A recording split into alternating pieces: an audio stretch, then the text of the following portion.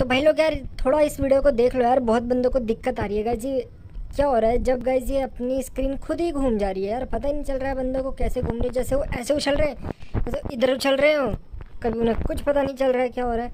तो यार, सिंपल सी बात है यार, ये मतलब ये दिक्कत इतनी बड़ी नहीं है जितनी ये बन चुकी है गाइज़ अभी फ्री फायर में।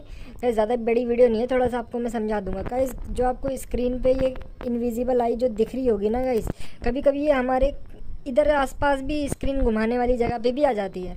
तो जिस कारण जैसे हम इसे ऐसे करते हैं, रुको, जैसे भागते हुए मैं ऐसे कर रहा हूँ, ये देखो, मुझे खुद ही नहीं समझ आ रहा है क्या हो रहा है, ये देखो। कभी कभी ये दिखती नहीं है, बहुतों के साथ ऐसा ग्लिच होता है, इसीलिए क्या करो सेटिंग्स में जाओ।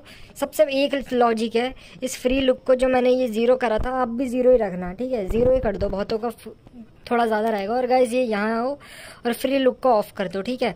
लास्ट में देखो फ्री लुक को ऑफ़ कर दो या ऑन कर दो, आप पे ऑफ़ करोगे तो ये सब प्रॉब्लम हट जाएगी। मैं थोड़ा ऑन रखता हूँ आँखों की ज़रूरत पड़ती है मेरे को, इसलिए। आप चाहे तो ऑफ़ रख सकते हो, ठीक है? पर मैं ऑन रखता हूँ। वैसे तो सिंपल है, आपको कोई दिक्कत नहीं आने वाली फिर, ठीक है गाइस तो सिंपल है ना? ठीक है? तो यार ऐसी कोई बात नहीं है इसमें।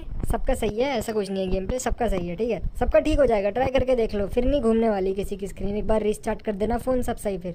ठीक है, फिर मिलते हैं यार आपसे, ठीक है? Bye bye love you all take care